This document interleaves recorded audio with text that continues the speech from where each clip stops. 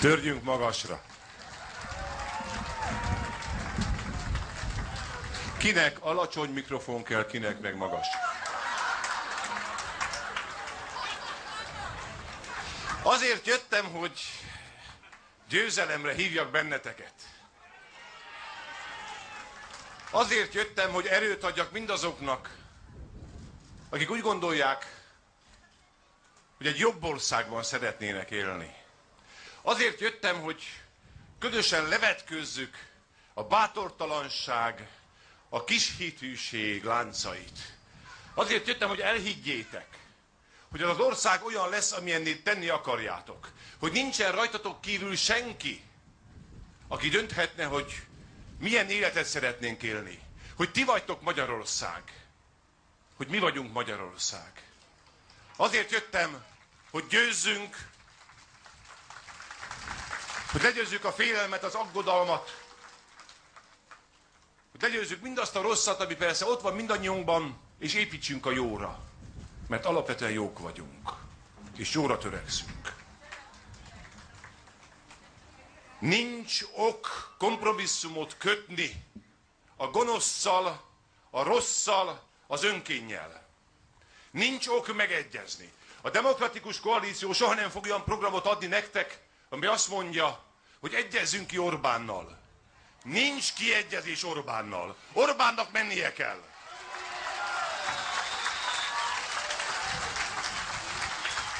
Ha egy csöpnyit látnák benne, ami hasonlít a sokaság demokratikus vágyára, ha jobb közép demokratának látnám, és nem az önkény urának, akkor azt mondanám, hogy a legtermészetesebb, hogy meg kell egyezni. Mert ez a, ez a mi országunk. De mert nem ezt látom benne, hanem azt, amit tesz az ő saját kicsinyes önkényuralmát. Ezért azt tudom mondani, hogy demokratának nincsen kiegyezése az önkényurával. Ha kiegyezik vele, az elárulja az ügyet. Aki kompromisszumot köt, az bemocskolódik az önkény undorával. Mi meg nem fogunk bemocskolódni.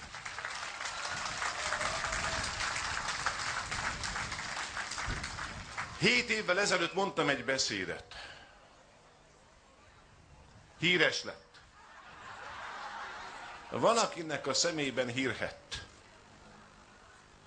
Egyenes beszédnek szántam. Egyenes beszédnek arról, hogy mi a dolga 16 év után a magyar politikának. Azt mondtam, hogy nem azért lettünk politikusok a 21. század közepén, mert jó egy jobb fizetést kapni, mint egy autófényezőnek. Azt mondtam, hogy nem azért lettünk politikusok, mert jó ott ülni a megyei önkormányzatban. Azért lettünk politikusok, mert egy jobb világot vágyunk. Azért lettünk, mert képesek vagyunk megharcolni, ha kell önmagunkkal, szembe menni sok-sok év hazugságával. Azért lettünk politikusok, hogy mutassunk egy másik normát. Az igazat, a valódit, az őszintét. Azt ajánlottam, hogy merjetek velem jönni, de talán én is elrontottam. Ha elrontottam, akkor legalább két ok miatt. Mert azt a beszédet miniszterelnökségem első napján kellett volna elmondanom.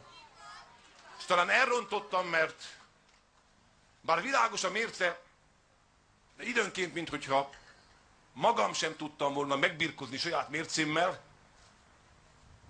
és olyan lettem, vagy voltam pillanat, pillanatokban, mint azok, akiket le akartam győzni. Hét év sok idő. Sokat látott az ország, sokat tanult, de tanultam én is. Ha van, amit megtanultam, hogy nincs ok egy pillanatra sem kompromisszumot kötni abban, hogyha van érdemes elmenni politikusnak, akkor az az, hogy csak a valódit, az egyenest, az igazat mondom. Ma a legigazabb, a legegyenesebb, a legvalódibb politikát azok képviseli kompromisszum nélkül, akik a demokratikus koalícióban vannak. Nincs kompromisszum.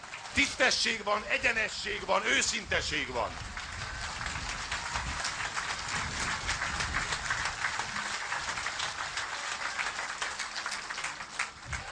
Van bennem szenvedély. De nincsen bennem sem indulat, sem harag. Miért lenne? De mi mással, mint szenvedélye lehetne képviselni saját álmainkat, saját országainkat? Nem hiszek a makogó politikusoknak. Nem hiszek a bárgyúknak. Nem hiszek a szövegeiket papírból felolvasóknak. Nem hiszek a taktikusoknak. Hiszek azoknak, akik egyenesen beszélnek szívükből, szenvedélyből. A szenvedély nem indulat, nem harag, hanem az életünk. Mi mással élnénk a szerelmünket, a vágyainkat, szerelmünkért és országunkért, mint szenvedéllyel. Aki hideg és langyos, az üljön föl a gázsütőre.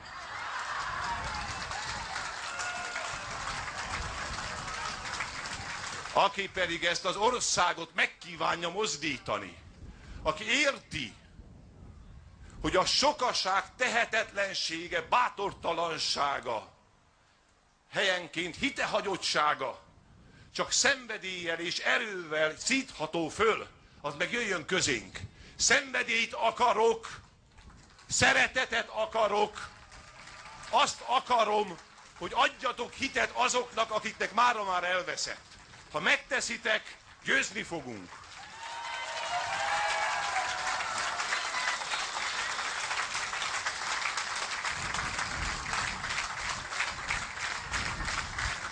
Pár nappal ezelőtt kollégáimmal felcsúton jártunk. Szép vidék. Nem azért mentünk, hogy gyönyörködjünk a tájba, amelyre büszkék lehetnek egyébként a helyiek. Büszkék történelmükre, mindarra, ami ott szemet gyönyörködhet. Azért mentünk felcsútra, hogy megmutassuk, hogyan van együtt a mocsoknak, a hazugságnak az az egyvelege, amely egyébként sajnos az egész országra jellemző ott felcsúton. Ha van felcsútnak tanulsága, akkor az, hogy ez a hatalom, ez a rendszer azokat is tönkreteszi, akik egyébként az ővéi lennének. Azt szeretném, hogyha Magyarországon nem lennének szipogó, megtört, életükért aggódó Marika nénik, és nem lenne egyetlen egy Váradi András sem a juhász, akiért állítólag a miniszterelnök sokat tenne, tett valamit, elvette a földjét ellehetetlenítette az életét, elvette az utolsó birkáját az övéitől, ahonnan jött. Szembeköpte, meghazudtolta, megfosztotta őket. És dörgölőzik a nagyokkal. És dörgölőzik azokkal, akiknek nem elegendők a milliók, a százmilliók és a milliárdok. És köp a sajátjaira.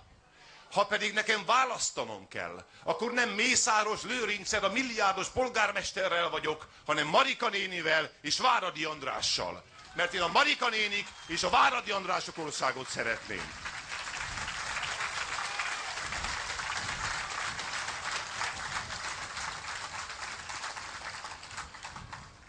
Szomorú ez a szeptember. Százezek azt látják, hogy elvették az iskolájukat. Hogy ott, ahol korábban viszonylagos nyugalom honolt, ott most rendetlenség van. Azt látják, hogy abból lesz iskola igazgató, aki rokon, aki jól fekszik a kerületi Fideszes titkárnál. Abból lesz iskola igazgató, akinek pártakkönyve van azt látják, hogy elküldik érettségiző osztályok tanárait is csak azért, mert ők 62 évesek. Azt látják, hogy választaniuk kell a hitoktatás és az erkölcstelenség ne továbbját tanító erkölcstan között. Nem akarom, hogy ezek tanítsanak erkölcsöt a gyerekeimnek, mert erkölcsösebb vagyok, mint bármelyikük. Isten mentsen meg tőle!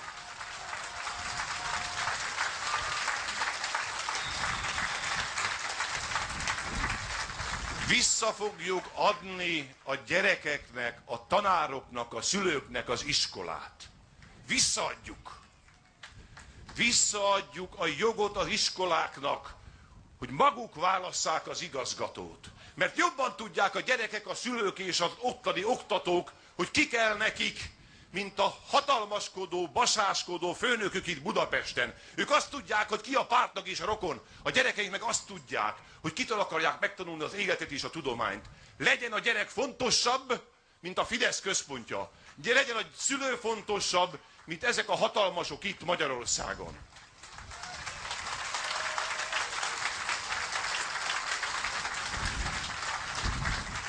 Négy saját gyermekem van, és két unokahugomot neveltem. Láttam őket közelről. Hat gyerek, hat külön világ. Nem lehet megmondani, hogy melyiknek mi kell Budapestről. A pedagógus érti, hogy mind a 20, mind a 30 külön világ, hogy az egyiket simogatni, a másikat bátorítani kell. Az egyiknek erőt kell adni, a másikat meg meg kell nyugtatni. Azt szeretném, ha a pedagógusnak újra joga lenne belenézni a gyerek szemébe, és a 30-nak, ha kell, akkor 30 különbözőképpen megmutatni a világot. Aki elveszi a pedagógustól a jogot, hogy nevelje, oktassa a gyereket, az elveszi a jogot a gyerektől, hogy az lehessen aki. Márpedig tudom, hogy minden gyerek önálló élet. Időnként veszekszem vele, máskor dicsérem, de tisztelem benne, hogy az ő élete. Ezek pedig el akarják venni a mi gyerekeink életét. Mi ezt nem fogjuk megengedni. Önállóságot, szabadságot az iskolának és gyerekeinknek. Ez a demokratikus koalíció programja.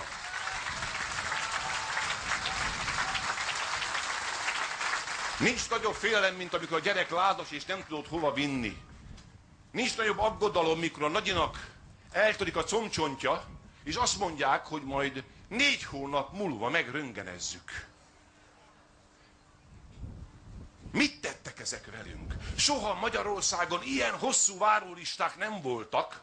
Azt hazudták. Azt vágták a képünkbe, hogy mi akarjuk tönkretenni az egészségügyet. Ma meg hat hónapot kell várni egy egyszerű emerére, és olvasom, hogy mert már kibírhatatlanul hosszúak a várólisták, Kaposváron már VIP listát készítenek, akik a sor elejére tolakodhatnak, a kiváltságosok, a nagyságosok, az új gazdagok, ez lenne a tisztesség, ez lenne a nemzet, ez lenne közös Magyarországunk, a kivételezetteké? Vagy nem vagyunk egyformák? Meg fogjuk ezt szüntetni. Nem fogjuk megengedni, hogy a közös pénzen, a közös biztosításon, a kiváltságosok gyógyítassák magukat akkor, amikor a többség meg remeg, hogy kap-e majd tisztességes ellátást. Tönkre lehet tenni az egészségügyet. Ahhoz nem kell tudomány. Orbán kollega. Úgy látom, ehhez van tehetsége. Soha annyian nem hagyták el az országot, mint mostanában. Muszáj azt mondanom, vagy mi vesszük a kezünkbe, vagy mi közösen áldozatot fogunk hozni, vagy nem lesznek orvosaink, nővéreink és ápolóink, és ott leszünk a legnagyobb bajban, reménytelenül, ha nem fizetjük meg az orvosainkat, mi, ha nem fizetjük meg az orvosainkat, ápolóinkat, nővéreinket, akkor ki fog bennünket gyógyítani, amikor a legnagyobb a baj? Nem fogja tudni megcsinálni. Csak az adófizetők pénzéből a kormány, csak a társadalombiztosítás. Muszáj lesz megbeszélni. Nem mondhatom önöknek, hogy nem lesz ránk szükség. Szükség lesz magukra. Szükség lesz mindenkire, hogy segítsen. Hogy amikor nagy a baj, akkor legyen kihez fordulni. Hogy éjszaka legyen kinek csengetni. Hogy reggel lejjen, aki a kórházban megigazítja az ágyat, és megkérdezi, hogy hogy vagyunk. Vagy erőfeszítést teszünk mi, vagy mi magunk is részesei leszünk annak a hazugságnak, amely ide pusztította a magyar egészségügyet. Egyenes beszéd, igazság és őszinteség kell, és ezzel csak azt tudom maguknak mondani, elvenni Orbántól a jogot, hogy államosít mindent, és kezünkbe venni a magyar egészségügyet, és ha kell, akkor teszünk érte többet. Mert polgárok vagyunk, normálisak, felelősek és értjük, hogy vagy mi csináljuk, vagy senki nem fogja mi csinálni. Csináljátok meg!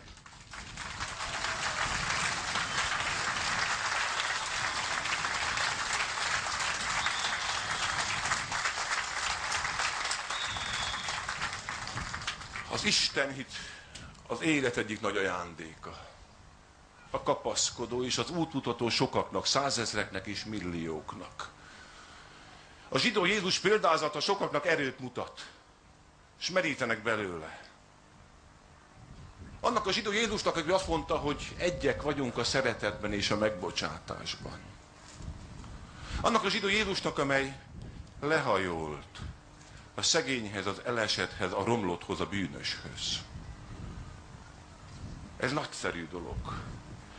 Nagyszerű dolog szabadon hinni a teremtőben, a véletlenben, a biológia csodájában. De nem nagyszerű, hanem elvetemült dolog kihasználni a hívő sokaság erejét. Nem az üdvözülésre, nem a jókeresésre, hanem Isten nevében a földi hatalmak szolgálatára. Mi nem akarunk ilyen egyházakat. Szabad egyházakat akarunk, a népegyházát, aki osztozik a sorsunkban, és nem palotákban ülő püspököket, és nem olyan egyházakat, amelyek kiváltságosak, amelyekre nem mutatkozik még a számviteli törvény sem. Az az egyház, amely privilégiumot akar magának, az nem a szegények, az elesettek, a mi egyházunk, hanem a hatalmasoké, a földi hatalomé, és semmiképpen nem Jézusé, aki szerette az ő népét. Ezek pedig megvetik őket.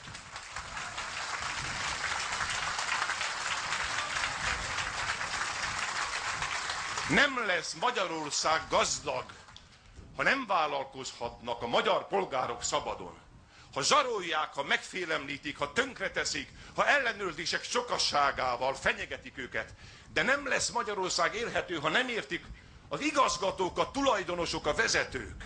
Ha nincs megbecsült melós, ha megtipossák a méltóságát, ha bizonytalanságban tartják, akkor nincs normális Magyarország. Több szabadságot, a vállalkozásnak több megbecsülést, több tisztességet a munkásnak. Erősebb szakszervezettel, kiszámíthatóbb adókkal, jobb bérekkel, elfogadva, akkor lesz Magyarország jobb, akit vállalkozni tud, az vállalkozzon, aki alkalmazott akar lenni, az legyen alkalmazott, egymásra vagyunk utalva, meg kell becsülni egymást, egyik sincs meg a másik nélkül. Aki ki akarja használni a másikat, előbb-utóbb önmagát is meg fogja rontani. Muszáj békét kötni a munka világában, de fel kell emelni az alkalmazottak, munkások sokaságát, és szabadságot kell adni ahhoz, hogy aki tud, tehesse a dolgát, gyarapítsa a vagyonát, és nem irigynek kell lenni, hanem bátornak kell lenni, és tisztességesen kell tudni élni. Ez a normális beszéd a szabad világban.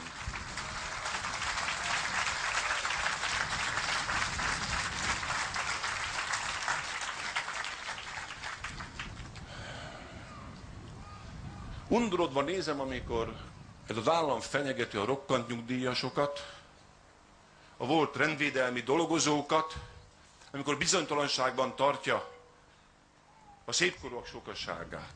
Miért teszi? Minek? Higgyék el nekem, akik végig dolgoztak párszor tíz évet, 50-60 évesen ebben a világban nem fognak már munkát kapni. Megnyomorítani, megalázni. Mire megyünk vele? Persze. Sokan használtak kiskapukat. Miért a miniszterelnök nem? Talán a maga erejéből gazdagodott meg? Ne alkalmazzon szigorúbb mércét nemzetével szemben, mint amit magára alkalmazott. Ne tegye!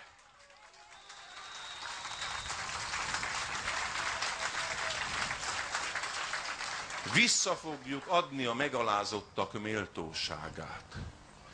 Nem tudom, hogy pénzt tudunk-e adni, őszinte leszek. Nem tudom.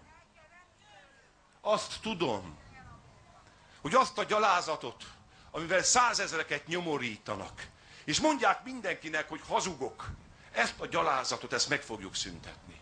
Nem lehet elvenni a nyugdíjat, nem lehet elvenni a nyugdíjjogosultságot, nem lehet azt mondani, hogy mindenki csaló, aki rokkant nyugdíjas, és nem lehet elvenni a rendvédelmiek nyugdíját, és járadékás irányítani. Nem, de az egyiken van garancia, a másikon nincs.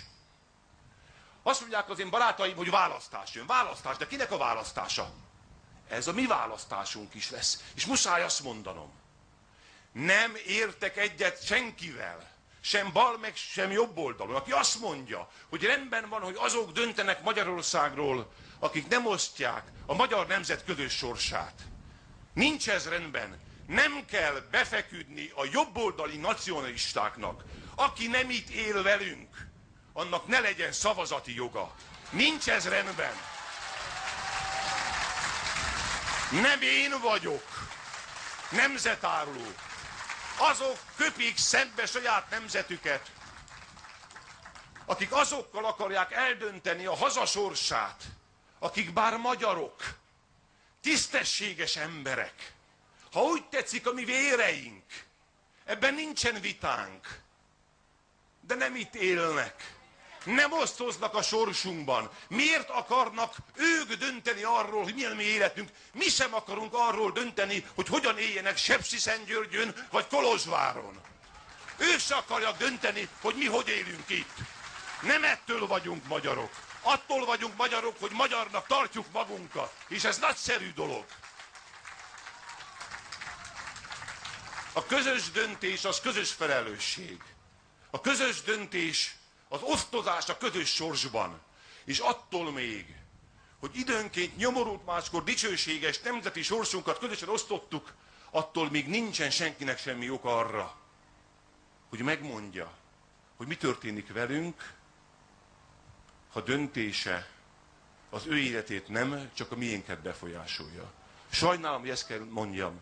Azok, azok teszik tönkre a közös nagy történelmi nemzetet, akik ilyen konfliktusokat teremtenek magyar és magyar között. Méltányosság kell ehhez, belátás, bölcsesség és államférfiú felelősség, amelynek a sziklája sincsen meg a mai miniszterelnökben.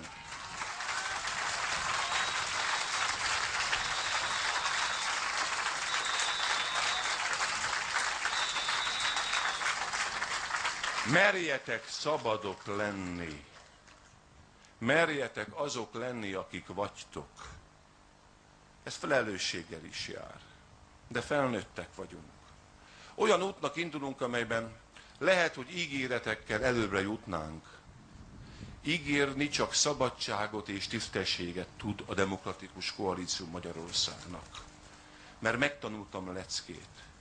Sok pofont és sok vereséget is szenvedtem. De talán megérte. A vereségből fel lehet állni, a tisztességtelenségből nem.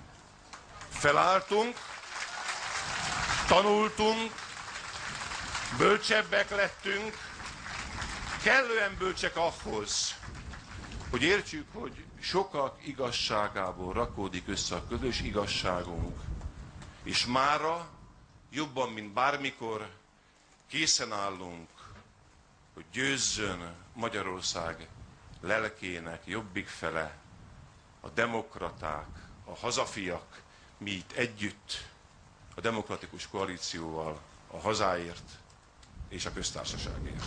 Köszönöm szépen!